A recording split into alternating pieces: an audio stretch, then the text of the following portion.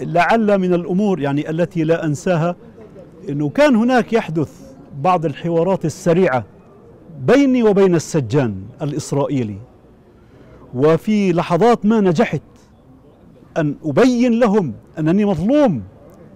أنا الآن في داخل السجن لأنني أعاني من مطارده ديني لأنني مسلم لأنني أقرأ القرآن لأنني أعتز بانتمائي إلى رسول الله عليه الصلاة والسلام وأعطيتهم الأدلة الدامغة على ذلك. البعض منهم أنا نجحت أن أؤثر عليه لدرجة أن ضابط من السجانين وهو إسرائيلي قال لي بالحرف الواحد قال لي بعد كل هذه الحوارات قال لي يشرفني لو كنت أنا الذي سأخرجك من السجن بعد فترة محكوميتك.